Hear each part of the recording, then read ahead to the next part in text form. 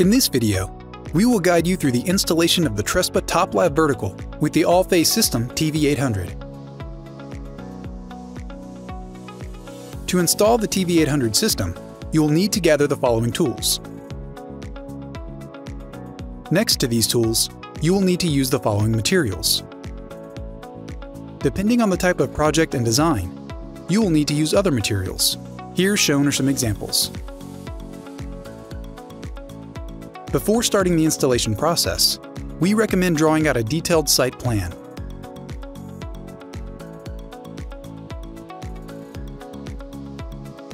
Consider how the panels will finish at corners, windows, doors, and joints.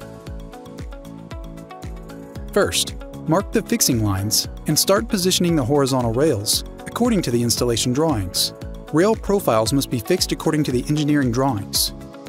The rail profile length has to match the project and Trespa TopLab vertical format.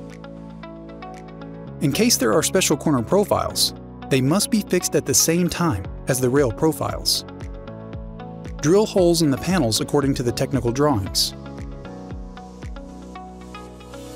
Use a 6mm drill bit and make sure to use depth stop to ensure that the required residual thickness of the panel of 2.5 to 3 mm is kept.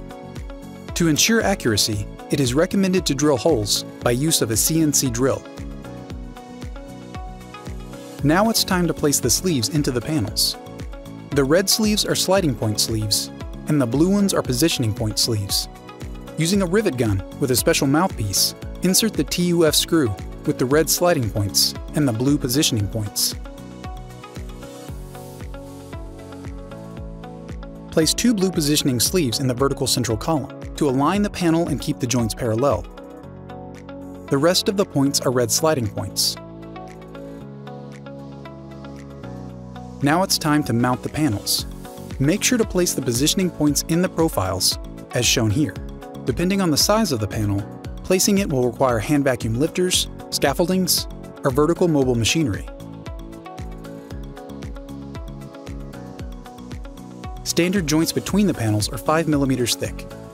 Depending on the project requirements, they can be filled by using joint rubber or silicone. Each project will have its own solution according to the architectural design and code requirements. It can include connections with the floor or ceiling and corner profiles. Review this checklist to ensure correct installation of the Trespa TV800 system.